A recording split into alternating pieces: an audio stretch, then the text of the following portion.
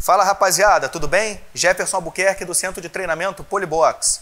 Vocês já repararam algumas vezes que depois que se entrega o carro para o cliente no pós-polimento, aquele carro que parece estar perfeito, vai passando o tempo e ele vai começando a aparecer marcas?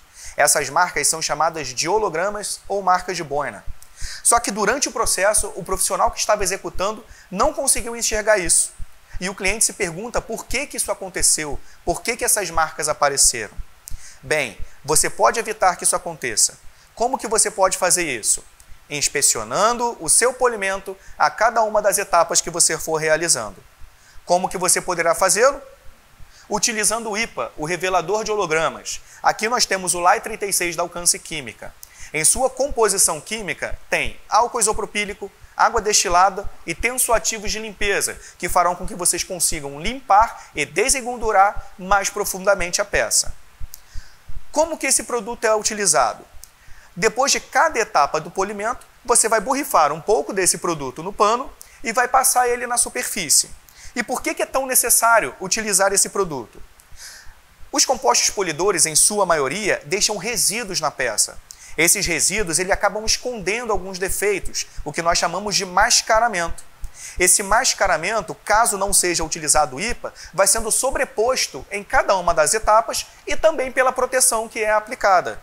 O que resulta isso? Depois de um tempo, se a pessoa não executou o polimento da forma correta, aparecem as marcas de holograma e também as marcas de boina. Para que isso não aconteça no seu processo, você deve se certificar, inspecionar entre cada uma das etapas para que você saiba se existem ou não defeitos gerados através do polimento. Para isso, você vai utilizar o IPA, aqui no caso, o LAI 36 da Alcance Química. Cada vez que você for utilizar esse produto, é interessante saber que ele não pode ser aplicado quando a peça estiver muito quente. Evitar borrifar diretamente em cima dela para que ele não evapore de maneira rápida, perdendo assim a sua eficiência. Por isso, nós recomendamos que você aplique ele no pano, espalhe na peça e com outro pano seco você vá removendo o resíduo do IPA. Lembrando, toda vez que você for aplicar uma proteção, principalmente os vitrificadores, é essencial que você execute a inspeção com o IPA antes de aplicar o vitrificador, para que você limpe todo o resíduo da peça, deixando assim as microcavidades do vernizes livres, para que os produtos de proteção, principalmente os vitrificadores, ancorem da maneira correta.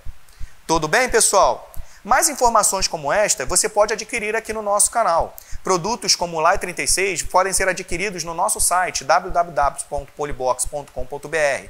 Lá você terá mais informações a respeito desse produto, equipamentos e outros tipos de serviço que nós temos, assim como os cursos do nosso centro de treinamento. Espero que tenham gostado, não deixem de curtir o nosso canal.